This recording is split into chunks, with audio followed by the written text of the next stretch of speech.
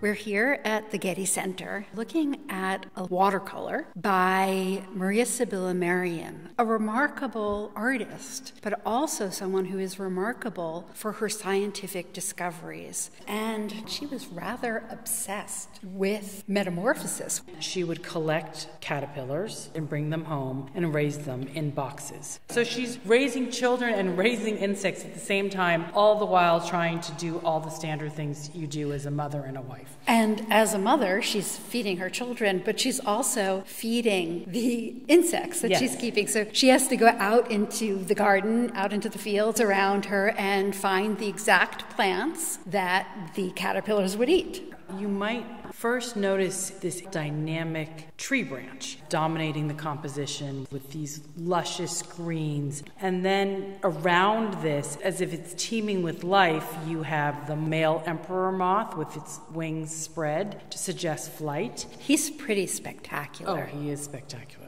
Purple and yellow and these black circles. And below, you see the cocoon. You see what she referred to as a date pit. Now we know it as a pupa. Remember, this is before there's classification, before there are Latin names for these insects, before the complete understanding of the metamorphosis of insects was understood. And then you see the juvenile nymph. And the mature caterpillar you see climbing down that branch. And it's this wonderful green with black bands, yellow pearls on top, with teeny black hairs emerging from those yellow pearls. Notice the shadows. She's trying to make this as lifelike as possible. And she's the first to think about this life cycle in relationship to the food source. Others weren't showing the food source, and they weren't making it in this beautiful color. That's Merian. And that comes from the fact that she was trained as an artist, and her stepfather, who taught her how to paint, was a still life painter.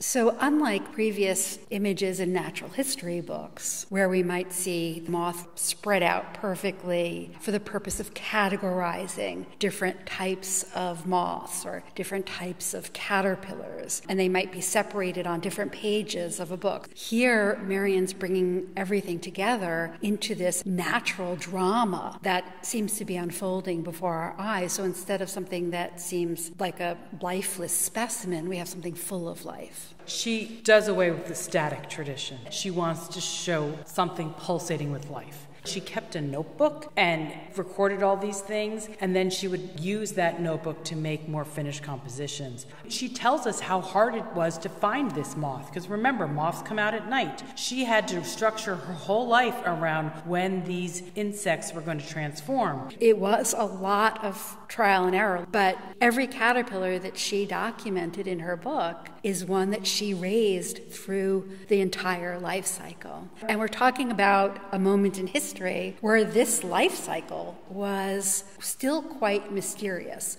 They still believed that butterflies or moths spontaneously generated from piles of dung. So not only is she able to observe it, she's able to depict it in an artful, beautiful way. Her whole book was made for gardeners and for art lovers. It wasn't made for the scientific community. And what I love about this images is she makes us slow down and reminds us to look. And that was the age she lived in. Let's not rely on the ancient knowledge of Aristotle. Let's go out and observe and document, and really the beginnings of scientific observation. And that's a reminder what you're going to find if you're curious and what you're going to find if you don't just read what's in the books. Remember, she's growing up in a very religious time. This was not science the way we think of science, this was God's handiwork. And she was trying to understand and make sense of that handiwork. This idea of natural theology, that looking at nature would reveal God's handiwork, but also the idea that we could see religious ideas in nature. The transformation of the butterfly could stand for the idea of the resurrection.